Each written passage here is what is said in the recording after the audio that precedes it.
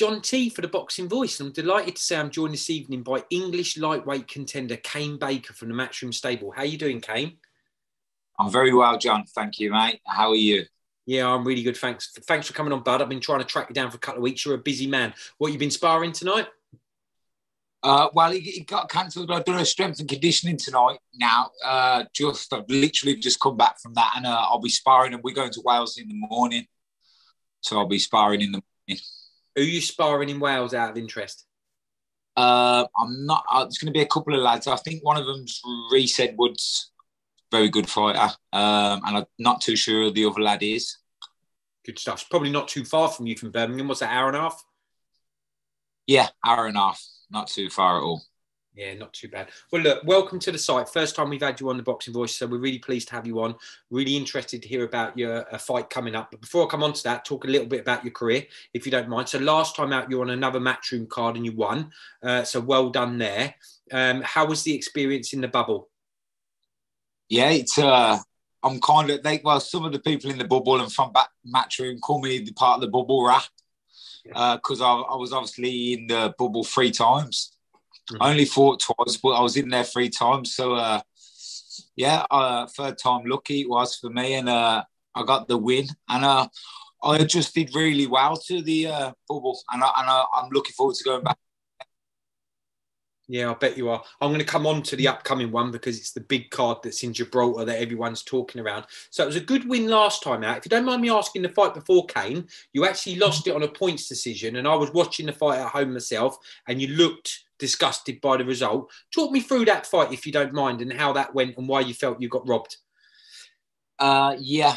Well, I think it was just the heat of the moment while I was showed a little bit bad sportsmanship by leaving the ring early, which isn't like myself normally. I'm quite a sporting person. But uh, Fiaz tricked me into thinking he was going to fight me. He said a few things the couple of days in the lead up and in the bubble, and I really thought he was going to uh, have a scrap with.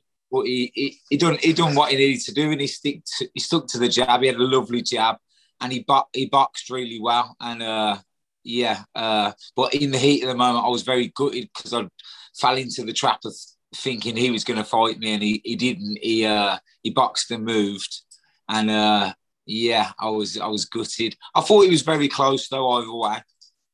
Yeah, no, it was a really close fight, and it, I think it, not myself, but even all the fans. Some were like, "You won, he won," so it was a close one, which shows a vote of confidence in you because Eddie Hearn brought you back out again quite quickly. So, as you mentioned, it's the third time you've been in the bubble. The first time it didn't come off, I think that was because of COVID or something went wrong. But actually, you've had two fights, and now it's a third one. How does it feel to know that Eddie's bringing you out again on such a big card that's a pay per view with Dillian Whyte out in Gibraltar? It's uh yeah, I just I keep I keep pinching myself and uh I, I think he has took a liking to me, Eddie, in some way because uh obviously yeah, there's a lot of fighters queuing up to uh to get out and uh little old Kane's Kane's out again. So uh yeah, I'm just uh, delighted to be going to the, and a new experience because obviously the bubble's going to be in Gibraltar this time. Yeah, definitely.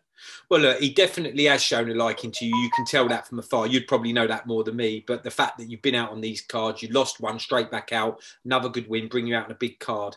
So, um, what, uh, what's happening with Gibraltar? Are you going to fly out a week before, or is it longer before? Have you got a quarantine?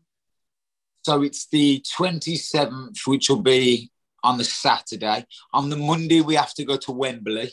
Uh, and we we're going to have a COVID test there and isolate for the for the 24 hours. And then Tuesday, the, the whole of the matchroom set up, Eddie Hearn, all the fighters will, will, will fly to Gibraltar from there. Nice. There must be some of the fighters that are on the plane that are going to fight each other. I hope they don't have a fight like 20,000 feet in the air with a couple of beers inside them. That'd be good fun. I, I, I hope not. Look, luckily enough, I think Dillian Whyte's going from Portugal. So that's one uh, at least the heavyweights won't be scrapping on the plane because I'm scared of fly. I don't really not too keen on flying, so I can't imagine them two rolling on the plane would, would help me. oh Jesus! Have you flown often before or not? Yeah, I do fly quite a lot. Um, but yeah, I, I, have been known to uh, have a panic attack and shed tears, and it just I could be fine halfway through, and then just all of a sudden it it comes on me. It's a, a, a weird one. Yeah, Jesus, well, but, crossed for it was it about two hours, two and a half hour flight? Yeah, two two and a half hour flight. Yeah, so you shouldn't be too bad then. Get up in the air. You can't drink loads of beers because you're trying to make weight. So you're just going to have to close your eyes and pray, mate. I, I know, uh, that's that's normally what I do when I go with my partner. I'll, I'll calm the nerves and have um, a stiff drink. But yeah, there'll be none of that on this one. Yeah, I think we all do that, mate. Well, look, good luck with the flight. I'm sure you'll be fine there. So, just quickly before I move on to the actual fight night, I'd like to talk a little bit about your career, if that's all right. A couple of really interesting stories. The first one I'd like to ask about is your weight loss. So, for any of the fans who aren't aware, I don't know how much you weighed. Hopefully, you'll tell us in a minute. But if you look at your pictures on Instagram and social network, you were a big fella, to say the least. And not only did yeah. you lose it, but you're now a professional athlete and chiseled. Talk me through what happened. Um, yeah, well, uh, I was 14, I think 10. I remember weighing 14 stone 10. I might have touched a bit heavier than that, close to the fifth, very close to the 15.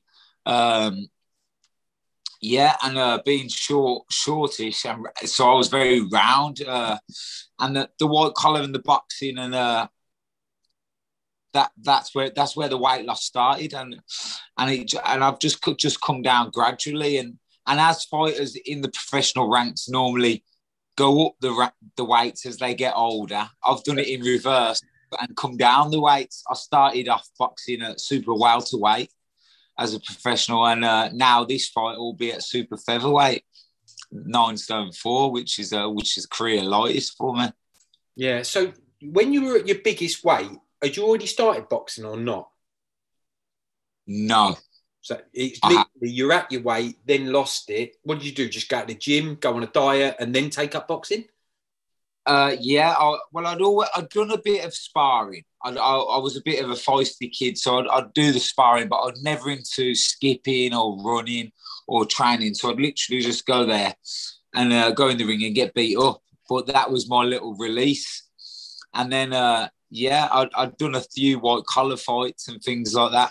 I think I was fighting the white collar at 12 and a half stone, just under 13. And then, uh, and that was some lumps I was fighting. Looking okay. back, I think, wow, how we got in with some of them guys. And uh, it, it's just been a gradual process over a, a long period of time.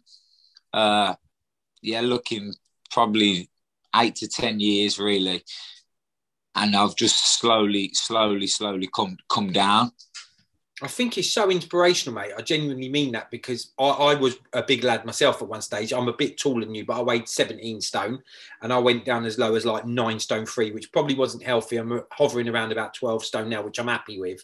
But actually, for people to look at yeah, which I'm five foot eight and a half. I'd say five foot eight and a half, five foot nine. It's probably five foot eight, but I'm happy. I'd rather be maybe half a stone lighter, something like that. But actually, to see someone who's gone from being a really big lad that you were to not just lose it, but to condition yourself. And I wonder because when I lost the weight the first time, I had sort of like little bits around the side. But when you look at you, you chiseled because you work at it because you're a fighter. So, you know, well done on that, mate. Really, really good. I'll just talk to you a little bit about uh, your career at the beginning, if it's right. You were starting along really well. I think you were like four and zero. Oh. You then came up against a um, a young prospect in Conor Benn, um, and then yeah. I think talk to me about that fight. Did you lose that on the night? Yeah, I got stopped in the second round against uh, Conor, who's a very good puncher, very good fighter. Uh, and it was a, but it was an experience that I really, really loved. Uh, it was the first time I fought at York Hall, yeah. uh, and I had a bit bit of um, it just just just a it was a part where I, I, thought, wow, this isn't for me now. When I got out, I was I was very emotional after the fight, and then my partner said to me, "Come come round to the uh, the pub," and I went round to the pub, and all my friends and family were there, and they were singing because I was gutted that they brought they'd spent a lot of money. I'd sold a couple hundred tickets, and I thought I didn't even see the blooming the end of the bow. Mm. I, I, was out, and uh, yeah. to walk around them to be so happy and they was cheering me on and singing my name. And, and that was a special moment in my career really. Even though it was a devastating time being my first loss and, and being my first time I got stopped uh, the fans loved me for it. My well my friends loved me for it and my family loved me for it. And they uh yeah and I'll never forget that moment really Well, you can tell you're a big ticket seller, mate, and you're a likable guy, and you're in. You're from a big city, the second biggest city in the country. So when things are back to normal, I'm sure you'll get the ticket uh, sales going there. There's no shame in losing either to Conor Benn, and especially when you think about the weight, mate, because you're now at a weight that you've got to. If you're fighting at super feather, what's that? Nine four. Conor Benn's at well, yeah. right, which is ten stone seven and he's definitely yeah. holding his own. I'll come on to Conor in a minute if that's all right, and see what you think of his next fight. Um, and and then um, I think you might have lost the next one against Gary Cully, which again no mean defeat. He's out again shortly, he's still undefeated himself. But then you sort of yeah. like started making a bit of a comeback, and um, then there was a fight I was really interested about, and I'm sure the fans will be interested here. I think, um, sorry to say it, but did your granddad pass away? You went into a fight with a shirt, and there was a bit of trouble with it. Can you tell us about that? Yes. So um, yeah, my granddad passed away, and he was uh, a massive, massive. Uh, he even played for Aston Villa back in the day, and he also played for Birmingham City. Um, but he was a massive, massive Villa fan. Uh, he would always talk to me about the Villa, and he loved Villa Park. And he sadly passed away, and he, he didn't get to see my fight, but I got to fight for the Midlands title at Villa Park. So. Uh, we, me and my mom and my family decided that it'd be a great time to spread my granddad's ashes, and uh, so we got the ashes sorted. And then I, I, we come up with another one. And my my cousin's nan and granddad, which wouldn't be my nan and granddad, their nan and granddad, but they're still close to me. They, they decided to uh, we decided to cut a blues and Villa shirt in half and sew them together. No one's ever done that before. I guarantee you. I, no one would ever have done that before. I bet that was brilliant. Yeah, it was absolutely brilliant. And she was worried at first how it was going to look or how it was going to turn out. But the, um, they turned out absolutely spot on. And I put my granddad's name on the back. And um, yeah, I, I, I, wore it into the ring on, on fight night. But being uh, quite early in my career and not knowing the rules, uh, it was obviously you're not allowed to wear football any football type, type of kit or colours or things like that. And I, and I didn't do it in a jest. I just literally done it for my granddad. Mm. So, uh, and I, I, won the Midlands title that night, and I, I wore my shirt. And then uh, the next day, I got a call off my manager, and I was looking to take another fight, and he said, uh, "You're not going to be able to take that fight." He said, uh, "You're going to be suspended." And I was suspended for a few weeks uh, until I had to go and see sit in front of the board, the boxing board. And uh, luckily enough, when I did go in front of the boxing board, they was very very sympathetic, and they had. Um, I was looking at getting a fine, maybe because of what I'd done, breaking the rules and stuff. Um, but they didn't give me a fine. They said I'd suffered enough punishment by missing one of my fights, and they they understood my, my story. They just said they wish I'd have approached them to ask for it to be happen, and they had to go through with the punishment as they did. But they give me no fine, and then they let me off and give me back my license. Ah, that's bang on. Do you know what? I knew the story. That's why I asked. I wasn't sure of the outcome. So common sense always comes through. And I, we interviewed Robert Smith recently, I'm sure you know um, from the British Boxing Board of Control. He's a top fella. And when you were telling me the story and when I'd read it earlier, I was like, you know, it doesn't feel like he's trying to do anything to antagonise like a crowd here. It feels like that was so emotional and sentimental to him that uh, you only yeah. banned for a few weeks and you didn't get fined, so that was good. So you're a Birmingham fan or a Villa fan? I'm a Birmingham fan, yeah, and my granddad was obviously a massive Villa fan. So we won't talk about football anymore then for you, no? No, no, no, no, no. Dreadful not, times. Not a good season if you're a Birmingham fan for you, but also the Villans no. are doing all right, to be fair. I've got lots of family up that way who are all Villa fans, to be fair. So cool. Um, right, well, moving well, I'm, I'm, probably the only Blues fan who's got a bit of uh, a soft spot for Villa. yeah, fair play, especially with Grandad and stuff like that. That's good. Um, right, we're moving on to the big night. So, what do you know about your opponent, Kane? I know he's uh, undefeated. He uh, he got a draw for the English title. He's signed with Dillian Whyte, uh, and he, and I've looked at him, and he looks a very good fighter. Uh, and I'm going to be up against it. Yeah, but you fancy your chances, right? Because you're on this resurgence at the moment where you're sort of like changing people's opinion and making them think you're on a comeback and stuff like that. I'm assuming that he's probably on the card because he's got a close relationship with Dillian. There's a few other fighters on there, but you're coming to spoil, yeah? Oh, one hundred percent. Yeah. If he um if he hasn't worked hard, my dog's just. Can I just quickly let my dog? Yeah, yeah, yeah,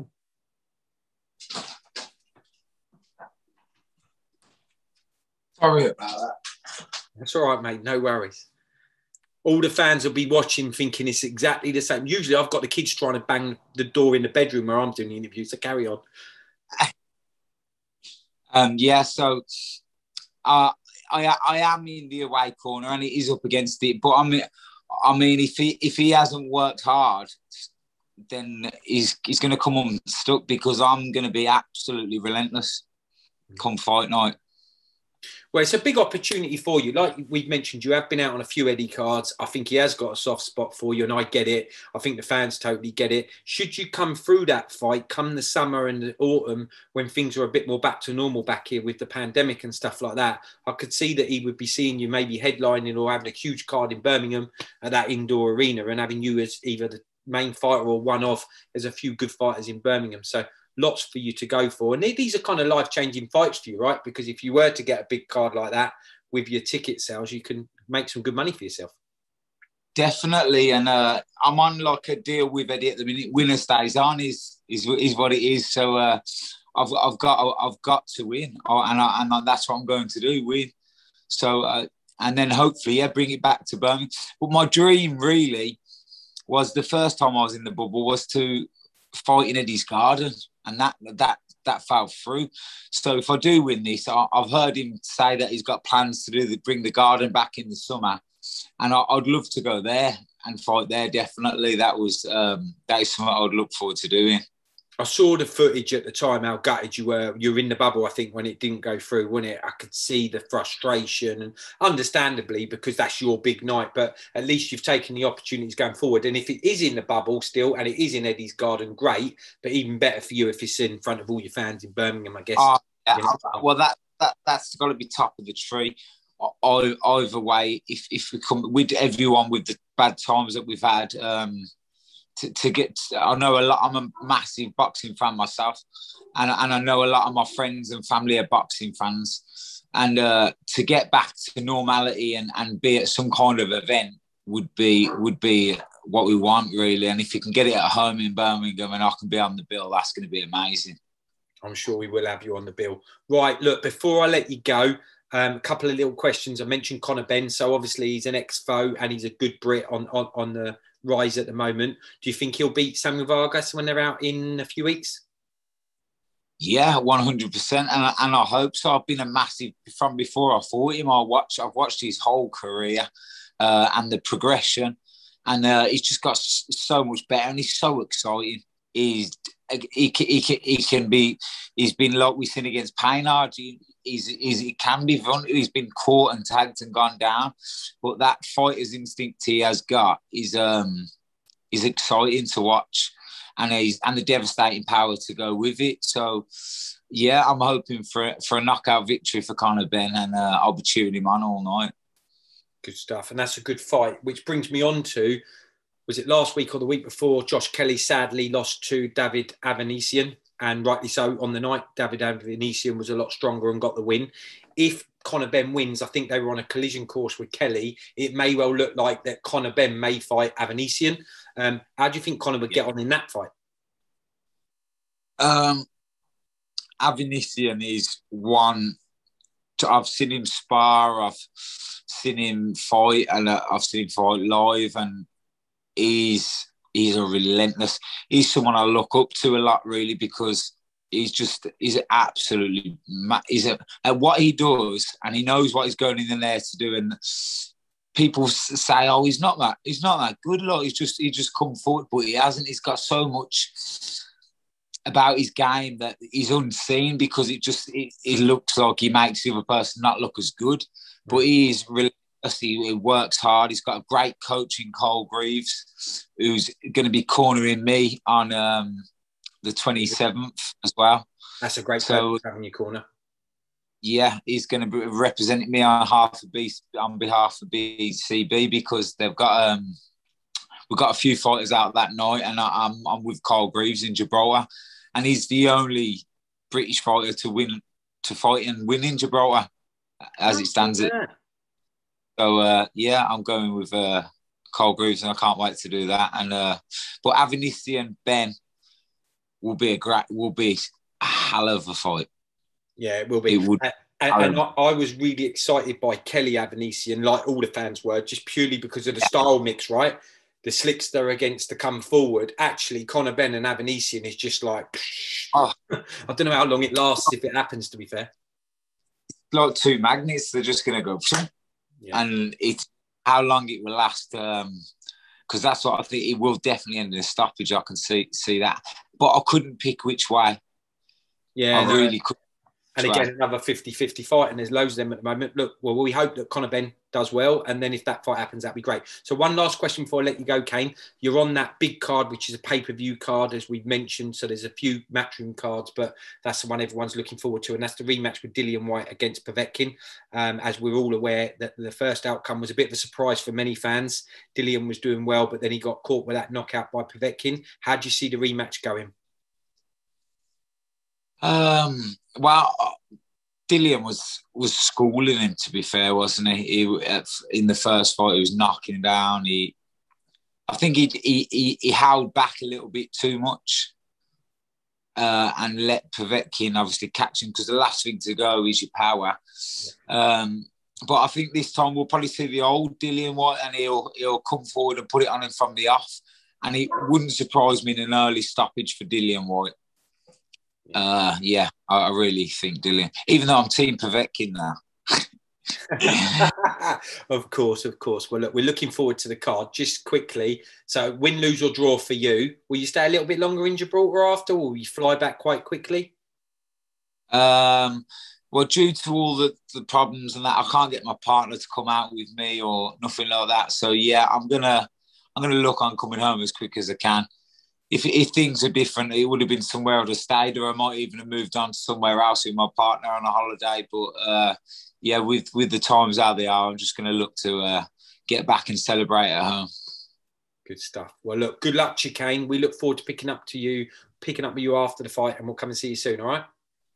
Thank you very much, John. Cheers, mate. All the best to you. See you. If you enjoyed Bye. the video, feel free to hit the like, subscribe, and share as always, if you want to support us to the next level, head over to the patreon.com backslash the boxing voice. We have tons of exclusive from Border Wars, Entitled, betting shows, the list goes on and on and on. But in addition to that, if you guys have questions for fighters, trainers, and promoters, this is where you can submit them. We will run out, get these questions answered, and put it back on the show just for you guys. Appreciate it.